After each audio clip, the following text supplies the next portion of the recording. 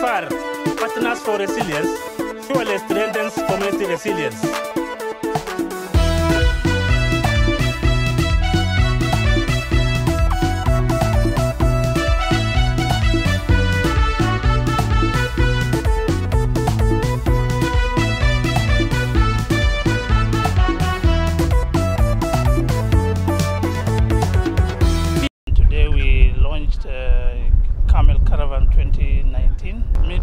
Organized this event with uh, impact from Laikipia, partners from Isiolo, Isiolo Peace Link, and uh, Kivulini Trust, and also a national uh, organization like uh, Frontiers, Frontier Counties Development Council.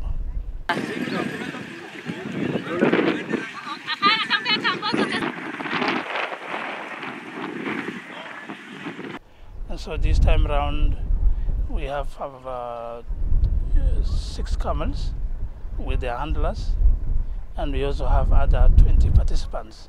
So in total, we have 36 participants who will walk from San Bilico to Isiolo, a distance of about uh, 180 kilometers.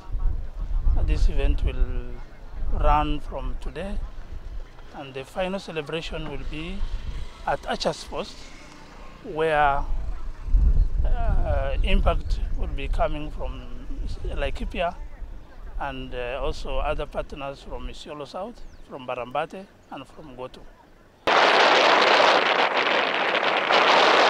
And the theme of today, uh, uh, this this time around, the theme is saving our Zoniro ecosystem and uh, the natural resources we have, and also to preach peace so that we can sustainably use the natural resources which we have.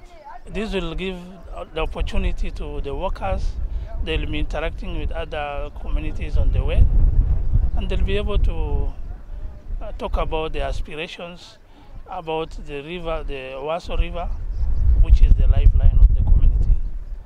And on 9th, we expect our leaders to be there to hear the voices of the community. And we'll also have a memorandum on that day.